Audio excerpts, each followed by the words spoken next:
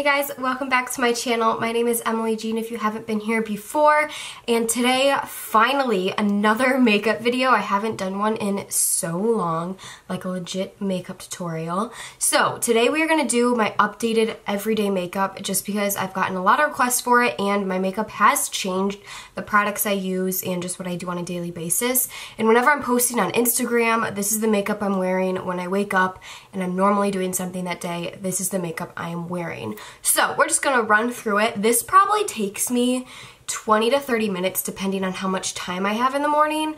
Um, so it honestly doesn't take me that long for the amount of makeup that I wear on a daily basis. So I usually do a very full coverage face. I just love full coverage face makeup. And then my eyes are pretty simple. Um, I'm going to throw on false lashes in this video, but I don't always wear false lashes. We're just going to do that for the purpose of this video. So if you guys want to get ready with me and learn my everyday makeup routine, then just keep watching. Going in with primer. This is the first primer I use. It's the Smashbox Pore Minimizing Primer. And this one is amazing for just filling in my pores. So this is always the very first thing I do. Take a very small amount, use the tips of my fingers and press it in right here. And I bring a little bit up on my forehead and around my mouth. Pores filled. I am wearing a shirt. have to say that because I'll look naked time. So next I'm taking my second primer. I talked about this in one of my videos. I don't remember which one, but I have fallen in love with this. This is the Becca um, Backlight Priming Filter. So I use this primer more as a like glowy primer you'll see in a second. So I take just a pump of that and apply this all over my face. Just like a moisturizer. And it adds like instant glow. I'll even bring it down my neck and like onto my shoulders and stuff if I'm really feeling it. It's a really good base for foundation, but it also just makes your skin look very glowy and hydrated, but it doesn't have sparkles in it, which I love. Because I've used a lot of glowy primers in the past that do have sparkles in it, um, and I've kind of stepped away from that. When I'm not wearing makeup, I still put that on just to have like a fresh glow and hydrated face. So next for foundation, one of my all-time favorite foundations is the Fenty Pro Filter, but I've talked about that enough on my channel, and I wanted to use a drugstore foundation today. I love the L'Oreal Infallible foundations. So they have a matte one and they have a glow one. I used to use the glow one all the time because I used to have a lot more dry skin. Now I have combination, so I have both of them. If I'm feeling more matte, I'll go with this one. If I'm feeling more glowy, I'll go with this one, or I will mix them. Um, they last a really long time. They're very full coverage, and both of these finishes are incredible. So I'm going to go in with my matte one today, especially because we applied the Glow Primer. That kind of like helps balance out the matte foundation. The Infallible Pro Matte by L'Oreal. I think this is like under $10. Great foundation. I'm in the shade 107. So I just apply some to the back of my hand and then I dot it on my face. That's what I'm missing. My mirror. I was like doing my makeup without looking in the mirror and I always apply some down my neck. That's very important. Then I'm taking my Real Techniques Beauty Sponge. This is dampened, that's why it looks huge. This is my favorite beauty sponge, and I just tap this out. You can see it's a little yellow. Um, that's just because my skin does get red, especially when I'm in front of these hot lights. It's even more red than normal. But it will match with my body. It's right here. My whole life is in this stupid cheap piece of crap. Okay, next for concealer, I'm going in with my Tarte Shape Tape. This is in the shade Light Sand. I actually normally use the Catrice concealer, and I cannot find it anywhere. I used it early this morning, and now I can't find it. Check that one out, too, because it is a lot cheaper, but this one is great, too. So I'm going to go in with this one. Um, they're both very similar. This one's just a little bit thicker. So I'm going to apply that under my eyes, and obviously this is much lighter than my foundation. My chin and on my forehead. I'm just to tap this out, and I like to use the pointed side of my Beauty Blender for this. You guys should see my desk right now. Normally when I film, everything is very neat and Oh my god, that proves a point right there. I found my concealer! Damn it. Guys, this video's a mess. I'm just in a rush. I have a very busy day, but I need to get this video up for you guys. That's dedication. Well, I found my Catrice concealer. It was hiding back here behind my ring light and camera. So this is the Catrice one. Um, check this one out. It is sold at Ulta and online. This one's really good, and I think it's like $5. I'm going to blend this out with my beauty sponge. And I just really tap in. You just want to press, press, press in. And I also take it up under my eyelid. Then I like going back in with the flat side and just kind of blending over everything to make sure the concealer and foundation match since they are such different shades. So next, I've kind of stepped away from translucent powders unless I'm doing like full, full glam. I've recently been using the Essence Brighten Up Press Powder. Again, this is like under $5, so cheap. This stuff is amazing. So I just kind of pat out my concealer and then I literally take my sponge and put it into the powder like that and press underneath to set. So take it on my eyelids, which is very important for the shadows, and on my chin, smile lines, and up here. So I don't really let it sit. I obviously have more than I need on my face right now, but then I go directly in with a big powder brush and I will just kind of make sure this is all blended out. So next for bronzing and contouring, this duo has changed my life. This is the Park Ave Princess Tarte palette, and this thing is such a good investment because you have four bronzer and contour shades. Plus you have these two brightening shades. And these powders are actually very similar to the Brighten one I just used. So you could totally use these with your sponge to set and then use these to contour. So I normally take Princess Cotton Angle. It's one a more gray tone and then the orangey tone. And I take that on my Morphe M530. This is like the best brush for contour and bronzing. So I'm just, I just go in there like very simple. Just mix them both together and start chiseling out my cheeks. These are very, very pigmented, but they blend out so nicely. So I kind of do like in between contour and bronzing. I first make it kind of dramatic and then I start blending out. And I always take a little bit down the sides of my nose, not really contouring, just simple adding color. And remember, this is like my everyday, so I'm usually rushing and this is just like I'm not being super precise about anything, but that's what's good about this look, is it just looks, even though it's full glam and a lot of makeup, it also looks very natural, because nothing is too precisely placed. So now I'm just warming up my temples and my forehead a little bit, just the perimeters of your face, just to make sure everything is coming together and the colors are correct. Now we have that done. I feel like I'm all over the place. I just want to apologize. Um, but I guess this makes this video a little bit more real, right? Okay, so now for blush, I've been using this brush and I always get questions about these brushes. I bought them about a year ago off um, Showpo. It's like a clothing boutique and I bought them just because I thought they were cute and a lot of them actually work great and they were really cheap. Like I got a whole pack for like $25. So it's called the Jess Up Powder Blush Brush, and that's what we're going to use it for. So I've been loving the Maybelline Fit Me Blush in, I think the shade is 50, shade Wine yeah, so they look like this, little square things. Again, staying with the drugstore theme. I've like just been loving drugstore makeup recently. So this is a really pretty like deep mauve pink color with a little bit of shimmer. So I just apply that to my brush and this brush is super soft so it makes blending this out very seamless. I do a little smile and apply it to the apples of my cheeks and then bring it backwards to my contour. And I think this color is just very, very flattering. Um, and if you guys know me, blush is one of my favorite makeup products. So I kind of like a deeper toned blush. Always apply excess to my nose and chin. I always say this, you want everything to look uniform, so you want to apply products to multiple places of the face so they don't look random.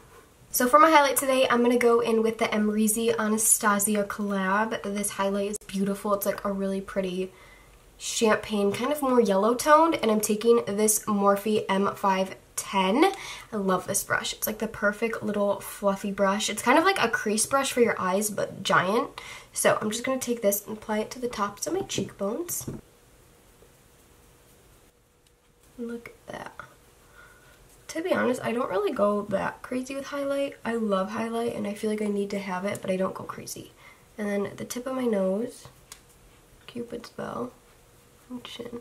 Then, because my shoulders and all this is exposed, which it normally is in the summer, I'm going to take this highlighter and apply it to my collarbones. I do this every time, like this makes such a difference. And then I apply it to my shoulders as well. Some of you guys are probably like, this girl is psycho. But, like, look how pretty that looks. You can even apply it to your boobs too. The tops of your boobs. Just hey, we're closer now. I recently dyed my hair really dark and I used to have like blonde highlights so I would just fill in my brows pretty lightly but now that I dyed them dark I can make them very bold and I already have like naturally pretty dark and bold eyebrows, lots of hair. So I switched over to the Anastasia Brow Definer which is the thicker pencil has more of like the triangular shape. And before I hated this pencil but for making a really dark bold brow I think this works a lot better and is a lot faster. Um, before I use the brow wiz so if you guys just kind of fill in your eyebrows a lot faster and easier I recommend the brow wiz um, but I've been using the brow definer and I'm in the shade medium brown. Comb them out. And then basically I just fill them in. Like I already have my shape so I just fill in the sparse areas which are the tail and kind of the front of the brow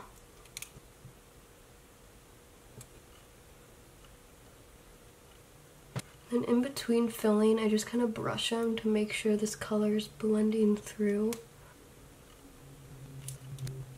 Boom! Those are big, bold brows. I look crazy because I have no eye makeup on. Now, you guys already know, Anastasia Clear Brow Gel. Probably been using this since I found out makeup existed. And this just sets my brow hairs down. Bold brows. Yes, ma'am. Okay, we're going in with an oldie but a goodie. This is the Kat Von D Shade and Light palette for your eyes. Love this palette. Um, I don't wear a lot of shimmer in my eyes. I'll usually just go in with the highlighter I used and add a little bit of shimmer. Um, but I normally just use matte browns for every day. So this palette is incredible. To start, I'm taking this yellow banana shade and just this flat brush and just setting down my eyelids Next, just taking a normal crease brush and I'm going to go in with this first just light mid-tone brown. Tap in there and then just run this through the crease. Like, very simple. Like, I'm not trying. I could do this without even looking. So there, that's just like the first little crease, a little bit of color. Now I'm going in with this flatter crease brush. This is from Sigma. I've had this for years. This is the E25. And I'm going to go in with this dark, like kind of a warmer tone brown. Coat my brush, tap off the excess, and I just pack this on the outer corner. pack, pack, pack right there on the outer corner and then kind of blend inward. Um, but you just want to pack the color on first, then we'll go back and blend out. So pack, pack, pack, pack. then we're going back in with this blending brush, a little bit more of that first lighter tone brown, and just kind of blending this out. Just want to blend out the edges for the most part. I'm going to keep that color pretty focused right there because we just want to kind of emphasize the outer part of our eyes. Now, of course, it we just kind of copy what we did on our upper lid. So I'm taking this little pencil brush from Morphe, going in with that lighter brown shade and just running this on my lower lash line. Then taking my flat definer brush and taking that darker color and pressing this to my lower lash line, but making it a little bit more focused right on the outer corner, just like we did on the upper lid. Eyes, done. So next for my eyes, I'm just going to curl my lashes like normal, and then I'm going to apply mascara. I've recently been loving the it's So Big mascara. I'll link it down below. I get mine off Amazon. I tested this out a long time ago in like an Ipsy box and I just recently repurchased it. Love this mascara. So I'm going to apply this to my top and bottom lashes and then I'm going to apply some falsies.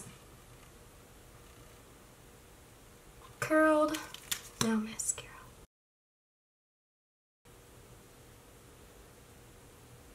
I'm applying these Eylure Lengthening Pack. Um, I think it's the 155. Yeah. So I love this brand. I'm always picking out different ones. I don't always wear the same style lashes, but I do love Eylure lashes because they look good, they're easy to apply, and they're not super expensive. But I always buy like the multi-packs just because obviously you're saving money and I wear lashes often. that it is worth it for me to buy the multi-pack. So I'm going to do this. I usually use the House of Lashes glue. That's my favorite, but I am out of that. So I'm just using some Duo um, glue. I'll show you it because I'm a good beauty guru. This. The Duo like one with the little brush. The House of Lashes glue comes in like the same container. I just think the House of Lashes lasts longer, but we all we got is this, so this works too. Hello? Hey, this is Omar with ShipStation. I was reaching out for Emily. Yes, hi. And I'm a YouTuber and I do a lot of online brand influence. So I'm starting to create merchandise. What do you have an idea what shipping carrier you want to use? Did you do that? I did that the same day. Yeah, Wednesday. Yeah, so, so- should work now. If you, I can help walk you through some steps to connect that. I'm actually about to run into a meeting. So can I call you later once I'm on my computer? Okay, cool. Thank you. Absolutely. Have a good day. Bye. Business calls, guys. Merch is coming. Merch is coming. So I just applied my false lashes. They're pretty long and wispy. They're really, really pretty. Um, so last but not least, we have our lips. I've literally been using this lip liner since I started my YouTube channel. I wear it every single day. I probably own like 10 of them. The Milani Color Statement Lip Liner in 09 Spice. It's the wooden pencils. I love this color. It's just the perfect kind of like darker, um, warmer tone lip liner and then I always apply something lighter over top. So I'm just going to line my lips with this and fill them in a tiny bit. And then I kind of change which glosses I use every day. Today I'm going to be using this MAC lip gloss in Signs of Spring. It's just a really nude glossy lip. Um, sometimes I'll apply lipstick, usually just a gloss, some type of nude gloss. This will just kind of mesh the lip liner all together. Okay, so I think that's the completed look.